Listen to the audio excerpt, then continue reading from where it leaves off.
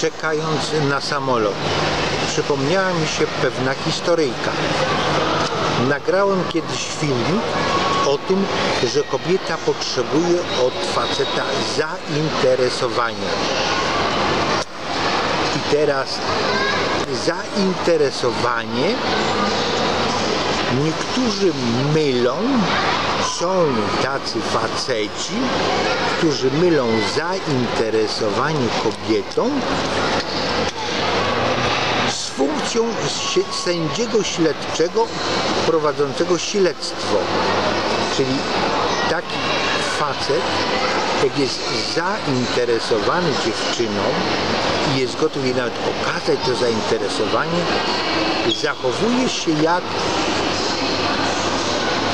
śledczy ma przygotowany zestaw pytań w rodzaju gdzie pracujesz, na jakim stanowisku, ile zarabiasz, gdzie mieszkasz, jakie masz mieszkanie, a jaki masz samochód, a ile koni, a ile lekki, a ile zapłaciłaś, a ile płacisz czynszu.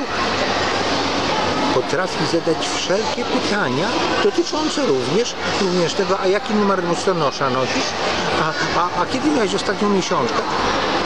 Faceci są gotowi swoje zainteresowanie posiągnąć tak daleko, że kobieta robi oczy jak spodeczki,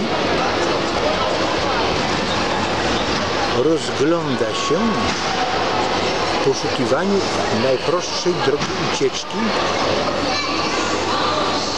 i zanim oddzieli odpowiedzi na dwa pierwsze pytania, kieruje się do toalety, stamtąd przez mały lufcik na zewnątrz, żeby więcej nie mieć do czynienia z tak zainteresowanym facetem.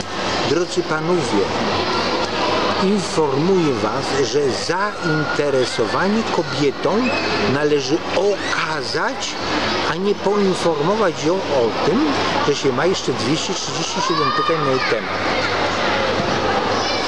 zainteresowanie to jest dowiedzenie się od kobiety, jak ona myśli, co ona myśli, czego ona pragnie, bez zadawania pytań zamkniętych.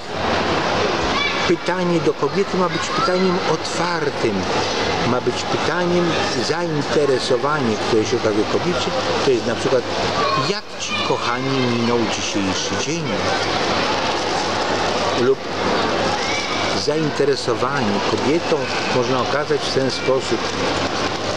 Droga nieznajoma. Co sądzisz o mnie? Czy jestem większym idiotą niż przeciętny?